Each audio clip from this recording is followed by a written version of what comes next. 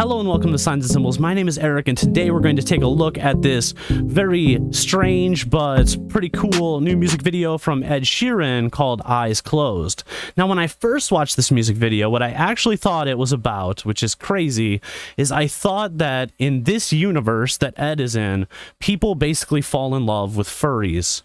They fall in love with these big giant stuffed animal looking beasts and that's what love is in that universe. But the more i looked at it the more i think that actually it's probably a metaphor for something else. So let's take a deeper look. As the music video starts ed sheeran is in a car and he's drowning. However we can see as he goes into a bar that he didn't actually drown. So, what this represents is his feeling on the inside.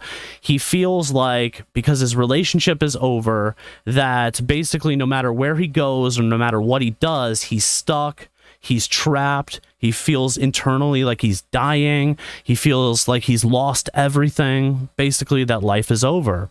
And as we get into a bar, what do we call it when we go to a bar when we're very sad? It's drowning our sorrows, right?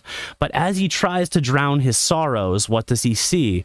He starts to see this big, furry blue creature.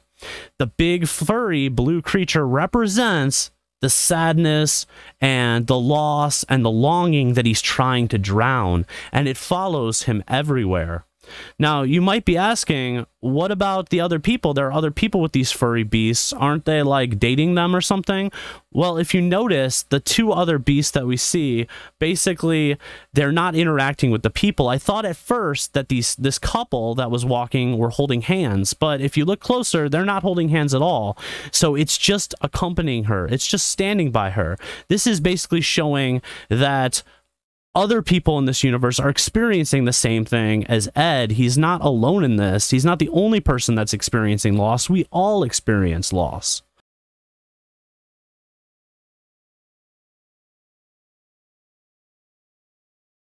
The reason why I think this is particularly true is at the bar, you don't see anyone else there dancing with any huge animals or beasts or whatever they are.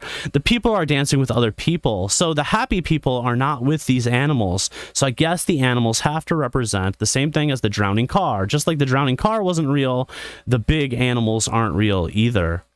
And at the end of the music video, we see Ed walk out to the water and he's looking at the water but he's not actually drowning in the water. So maybe the thing that happened to the person he lost, maybe it's the end of a relationship, or maybe actually there was some kind of accident or something, but it just shows once more that he's not actually in the water. He's just looking out there because it represents his feeling. And when he looks back, he sees the beast is still there with him it once again represents his feelings internally. What did you think about this music video? Is there something that I missed? Is there something you you can add to this? Uh, if you enjoyed this, please give me a thumbs up and do follow if you like breakdowns of music videos. I do these all the time, and I hope to see you in the next one. Peace.